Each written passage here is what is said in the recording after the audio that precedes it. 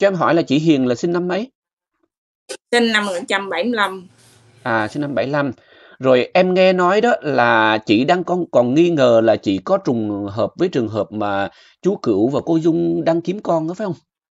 Dạ, đúng, đúng rồi. Dạ, ừm. Vậy bây giờ thế này nè, à, trùng hợp ở chỗ nào đó thì là sau khi cô chú nghe qua câu chuyện thì à, à, chúng ta sẽ bàn cái bước tiếp theo.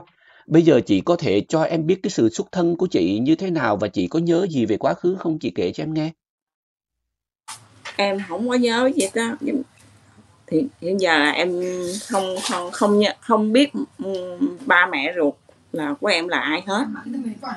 Bây giờ em ở với à, mẹ em hiện giờ là nuôi em ở ờ, quận ở đây là quận 8. Dạ. Vậy rồi hồi đó cái sự xuất thân của chị như thế nào? Chị có nghe à, ba mẹ kể lại và những người xung quanh kể lại cho chị nghe không? Dạ không, em không biết luôn. Tại vì á, em chỉ lớn lên ở ờ, mẹ em nuôi em từ nhỏ tới tới tới bây giờ luôn. Thì Không phải. Từ hồi tới đó bây sinh hồi đó ba mẹ sinh ở đâu hay là này kia mình mình có nghe được thông tin gì không? ừ, em không biết. Em hoàn toàn là em không biết luôn. Rồi chị không chị không hỏi hả hay sao? Dạ, chị anh anh à, chú Tuấn Dĩ có thể hỏi cô cô cái cô ở xóm nè là À cô cô ở xóm biết á hả? Dạ. Rồi Ủa vậy còn thì rồi được, vậy thì à, chị chị nhường cái chỗ đó cho cô ở xóm ngồi vào cái vị trí đó em hỏi chút xíu ha. Dạ, chị chào dạ chào chị. Dạ. Dạ, em biết sao không tại chị coi chương trình của em á dạ. rồi cái, cái hai cái cô chú đó đó thấy tội nghiệp mà chị mới nhớ lại con bé này. Dạ. nó xóm chị mà hồi nhỏ chị nhớ là cái bà má nuôi hiện tại bây giờ á là sinh của người khác nữa. Là tức rồi cái bà má nuôi trước của nó đó mới nói là hồi nhỏ thấy nó tội nghiệp lắm nó đi. Nó đi nó cứ khóc khóc con à. Không biết rồi bà mới ảnh nó lợi lợi đem lên công an. Mà tới chiều cũng không ai nhận hết đó rồi bà mới nuôi nó luôn thì khi bà má nuôi thứ hai của nó cũng mất thất lạc một người con. Cái người ta chỉ chỉ con bé này thì bà lợi bà thấy nó tội nghiệp quá khổ dữ lắm. Rồi bà thấy cũng trường hợp bà mất đứa con thì thôi bà nhận nó luôn. Dạ. đó. Mà chị thấy nó sinh năm 75 mà cô chú đó nói là ai xem trường hợp năm sinh năm 75 thì cứ đăng ký ADN đi để cô chú đó nhận. Thì chị thấy nó cũng tội nghiệp mà sao chị thấy nó cũng có cái hao hao cái nét giống ông bà. Dạ. Rồi chị cứ nói là thôi kệ nó đi mày cứ đăng ký với chú Tuấn Vĩ đi biết đâu á một phần trăm hai phần trăm mày cũng có cơ hội để mày gặp ba mẹ mày Dạ. Bây giờ thế này, gọi là theo như cái lời kể của chị đó thì là ba mẹ của chị Hiền là nhận chị Hiền về từ một người khác nữa. dạ đúng À, rồi à, đúng không? À, cho nên đó là cái chuyện trước đó như thế nào thì là không biết. dạ không biết không biết À, nó còn dạ. Cũng cũng không không nghe nói rằng là thất lạc nhau và nhận được từ lúc mấy tuổi hả? Không nghe nói hả?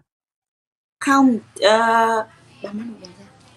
Đó giờ nhỏ dữ lắm cũng không không nhớ nổi nữa coi như là đi lạc rồi á, ông ông ông cậu ông đem về đem về rồi á cứ là đem vô trong chỉ mình chỉ nhớ mang máng đó. Còn nhỏ dữ lắm không có nhớ nổi luôn. Cứ cứ ngồi đó ngồi Ý, trong cái, cái trụ đèn nữa đó ngồi nó khóc hoài luôn. Chứ ông ông ổng mua cho một cái gói xôi cũng đâu có ăn đâu. Thì mình chỉ nhớ mang máng như vậy thôi rồi tới đó đó là coi như mình cũng không biết cha mẹ ruột mình là ai mình cũng không biết là chỉ ở với, chung với uh, mẹ cái mẹ mà nuôi mình á mình tới bây giờ luôn á. Dạ. Có nghĩa là có nghĩa là nghe kể lại hoặc là chỉ có nhớ mang máng là chỉ ngồi ở trụ đèn và khóc và có ai đó mua cho một gói xôi rồi ngồi ờ, cầm gói xôi đó là khóc ở trụ đèn đó.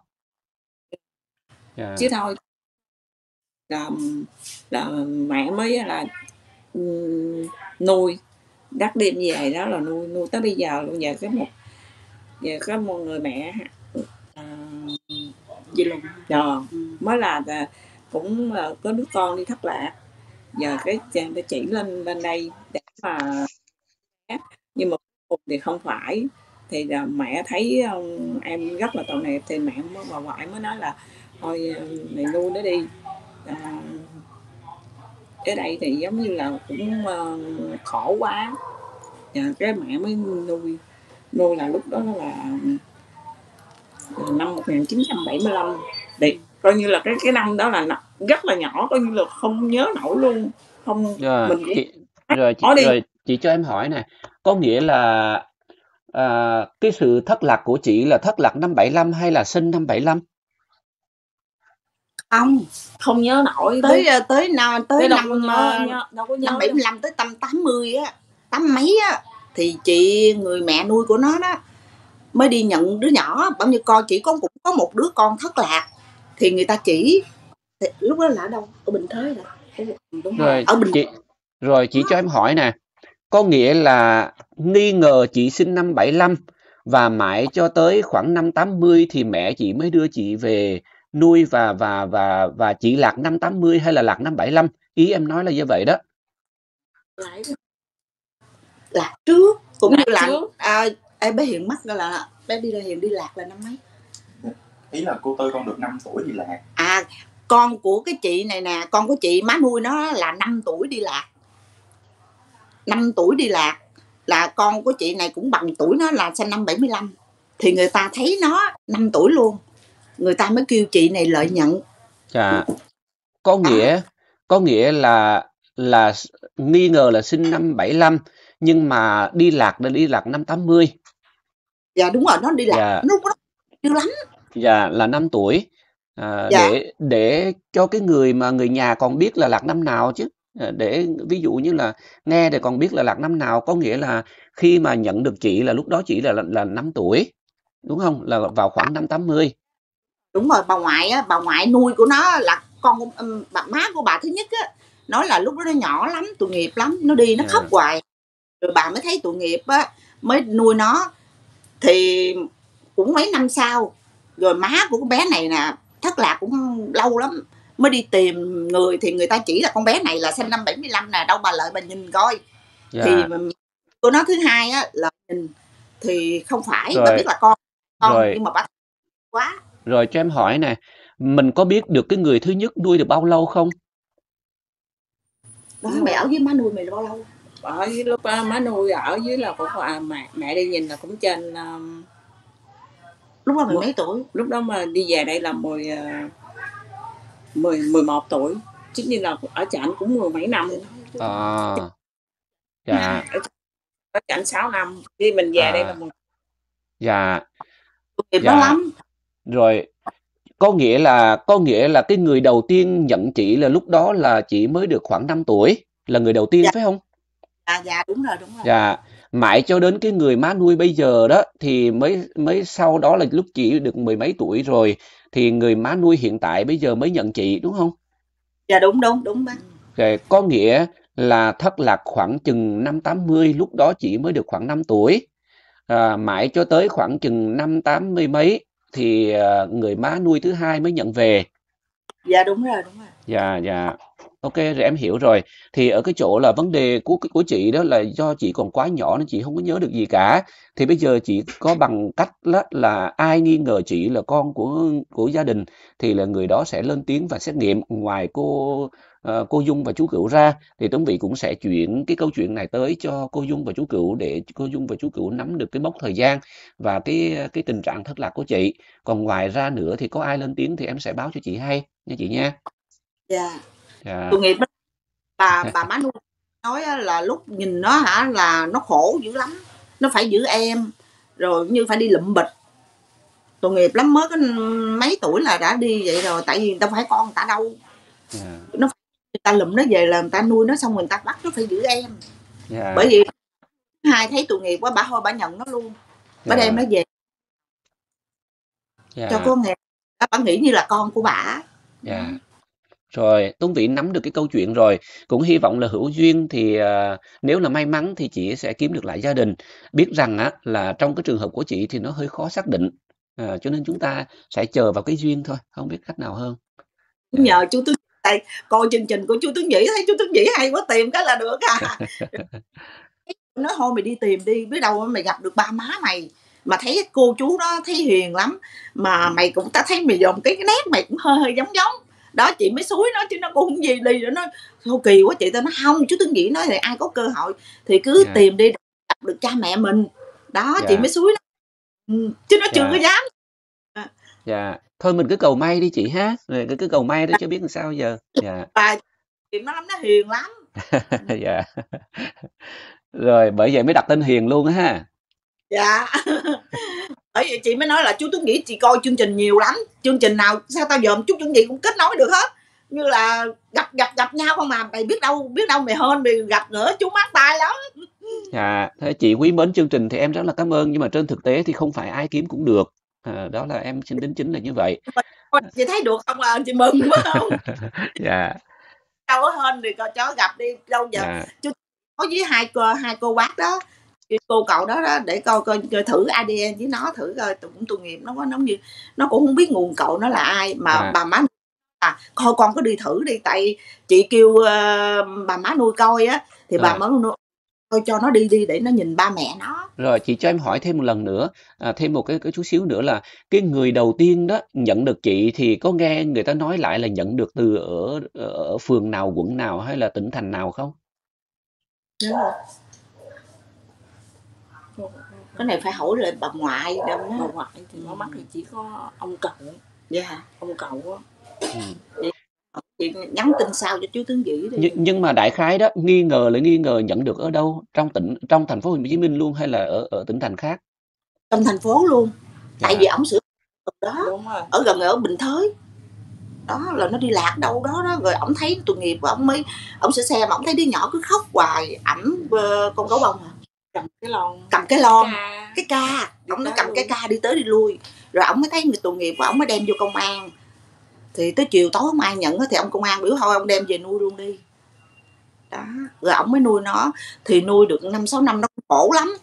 Rồi ờ, người ta chỉ rồi bà má nuôi thứ hai này lên. Nhận thì bà biết không phải con bà. Nhưng mà bà thấy hoàn cảnh nó khổ quá. Tội Dạ. nghiệp quá thôi Cảm như bà mất con thì bà nhìn nó Rồi em nắm được cái nội dung rồi nha chị nha. Rồi em sẽ cập nhật rồi có ai báo chị thì em sẽ cho gia đình mình biết ha. rồi dạ có gì cũng nhờ chú Tấn Dĩ đặng nói cho nó để nó được ba mẹ của nó Dạ dạ. cảm ơn Dạ ok. Bye bye chị hai chị. dạ chào Dạ dạ dạ. Ừ, em tên gì? Em tên Nga. À, hôm nay Nga kết nối là để kiếm ai Nga? Để ờ, kết nối với anh á là em muốn cho anh em á với cái chú Châu á. Tại Ừ. vì chú Châu á, cho em coi cái clip á là thấy chú trình bày á là mấy cái vết thẹo là anh em đều có. Ủa, vậy à? Dạ. Ừ. Rồi ví dụ Mà ví dụ như những cái vết ra làm sao em có thể tả cho anh những cái vết thẹo đó được không? Ờ, bên bên vai trái á là có cái vết nó y gan như là cái cái mà phỏng anh. Ừ. với trang chủ kính ảnh á, là ảnh nói hồi đó là cũng có cái bết nhưng mà ảnh bị bệnh mà đi xạ trị 6 lần á Ừ. là người ta đã đốt cái bết đó của ảnh rồi Ừ. dạ Rồi còn cái xuất thân của anh của em thì như thế nào? anh của em á là hồi đó cậu mời hai em á là xin ảnh á là trong cô di viện á là cô di viện là lúc ảnh đem về đó là mẹ em nói là ảnh là khoảng mới bốn năm tuổi à mà giờ cậu mợ em đã mất rồi là ở chung với mấy ờ, bà ờ, chị ờ, con của cậu mợ em á ở Rồi cô nhi viện nào? cô viện à, mợ chỉ cậu mợ chỉ nói là trong cô viện chứ dấu kính là không có nói cô như viện nào Ừ. ừ. rồi à, ảnh mà à, là lúc mợ mất á là ảnh mà ở chung với mấy là bà chị con của cậu mợ Ừ. nhưng mà lúc mà ảnh bị phát bệnh khoảng 4 năm nay anh nói chung là ảnh dạng như cũng bị bệnh ung thư Ừ. ảnh đi xạ trị 6 lần rồi họ không có nhận ảnh nữa đuổi ảnh ra em là con người thứ chín mẹ em là thứ chín còn cậu cậu em là thứ hai là nuôi ảnh á Ừ. rồi em thấy vậy mới tội nghiệp quá là không có ai nuôi ảnh hết trơn á ảnh đi lang thang vậy em mới lôi ảnh xuống đây là làm việc chung với em em đang làm việc cho kho nhà nước Ừ. là em đưa ảnh vô đây là làm được khoảng hơn một năm rồi rồi cái cái cô em á mới thấy anh là kết nối của chú Châu á thấy Ừ. giống khuôn mặt của ảnh giống của chú Châu Ừm. Rồi em mới là tìm là để cho anh em đang tìm được cội nguồn thôi chứ không gì. Ừm, ảnh tên gì em? Trần Văn Điệp. Trần Văn Điệp. Rồi ảnh có nhớ được gì về cái quá khứ không? Đó gì lúc mà ảnh cũng không có nhớ nữa. Ảnh giờ ảnh khờ với ảnh không có biết chữ nữa. Ừm. Còn còn mà anh muốn muốn nói chuyện với trực tiếp với ảnh rồi em đi ra chỗ ảnh làm ảnh làm bảo vệ ngay trong kho em nè, rồi em cho anh nói chuyện trực tiếp với ảnh. Ờ, ở ngoài đó nó ồn lắm thì Chứ bây ảnh giờ không có cái điện thoại. rồi điều đó không quan trọng lắm đâu gọi là anh có được cái, cái tấm hình của ảnh để biết mặt ảnh là được rồi còn cái câu chuyện á, thì như anh trao đổi với em hồi nãy đó là em nắm được cái câu chuyện thì em kể vậy thì là nó nó là như vậy thôi chứ ảnh nếu mà Dạ. ảnh không có nhớ gì thì bây giờ hỏi ảnh cũng đâu có biết gì đâu kể Dạ. ừ, ừ. Rồi vậy thì à, có được nghi ngờ là ảnh sinh năm mấy không và cái năm đưa về là năm mấy Năm 1970. ảnh sinh năm 70 hả Dạ, làm giấy Ừ. tờ ảnh là cậu mợ là để 197 không 1969. Mẹ nói đem làm về sụt lại một năm là 1969. ừ, Tại giấy tờ em làm cho ảnh là 1969. ừ. Dạ. rồi năm 70 thì được sinh về từ cô nhi viện dạ. Là mấy là là, là làm giấy tờ là một một ngàn chín trăm sáu chín giấy tờ của ảnh bây giờ tên là À, Trần à, Văn à. Điệp luôn. À, à quên, à, à, sinh sinh à, sinh à, từ cô nhi viện về là được 5 tuổi là nếu vậy chắc là năm 74 75 gì đó hả? hồi lúc về á là tại không biết cái tuổi của ảnh á cái phỏng phỏng á là mợ làm ảnh là năm 1969 Ừ, nhưng mà sinh từ cô nhi viện về em có biết là năm mấy không?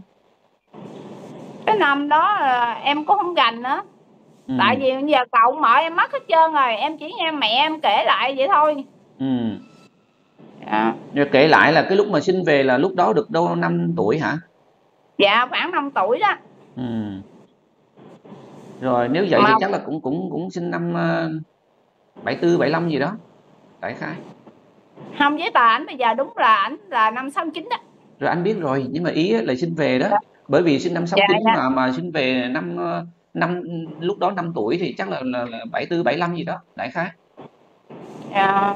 Ừ. mà ảnh hoàn cảnh ảnh khổ, khổ lắm anh ơi tại vì cậu mợ em ác đối xử với ảnh ác lắm á. em mà dân đi làm việc mà có ăn học em thấy vậy tội quá em mới lôi xuống làm chung với em á là em nuôi ảnh luôn hai chồng em nuôi ảnh luôn á Ừ.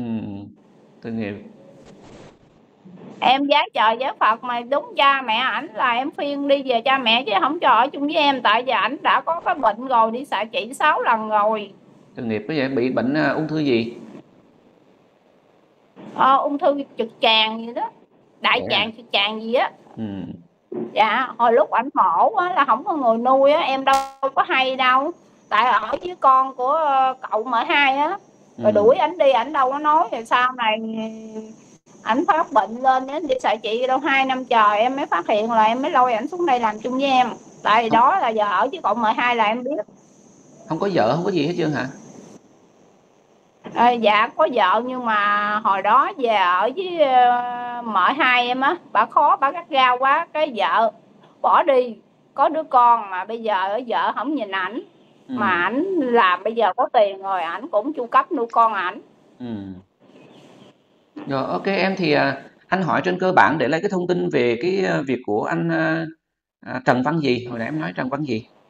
là Trần Văn Điệp Ừ, Trần sinh Văn năm Điệp. 1969 Rồi. Ok, vậy rồi để anh báo cho bên gia đình chú Châu biết.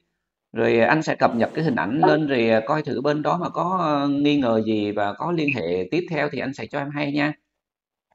Dạ tại vì Ừ. em coi cái clip của chú Châu trình bày là em em khẳng định là mấy cái đó đã khớp với anh em Ừ.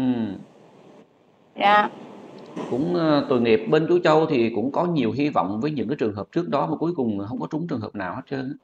Kỳ vọng rất là nhiều Dạ. nhưng mà cuối cùng cũng không trúng. còn anh này ảnh cũng là ấy à, đó giờ ảnh cũng muốn đi tìm mà bây giờ hồi đó sinh con viện ảnh còn nhỏ rồi ảnh cũng không có biết rồi mẹ đồ với mấy chị đồ cũng mấy đồ đâu có biết đâu mà đi tìm giùm ảnh Ừ. bây giờ là sống để lo có mình nên đó anh thấy tội Ừ. Rồi em hỏi những người lớn tuổi thử coi coi hồi đó sinh từ cô nhi viện nào, sinh về từ cô nhi viện nào ở tỉnh thành nào. Em hỏi giùm anh coi. dạ Ừ. dạ để để em điện về nhà em kêu mẹ Ừ. hỏi là mấy cậu rồi còn đúng không Rồi. Em hỏi cái rồi à, có gì anh báo cho bên gia đình chú Châu biết để khi nào mà người ta hỏi để mình biết đường mình trả lời nha em nha. Em em có thông dạ tin gì thêm thì em hỏi giùm ha. Dạ Ừ, ừ. Rồi vậy à, chào Nga nha. dạ dạ chào anh Rồi bye bye.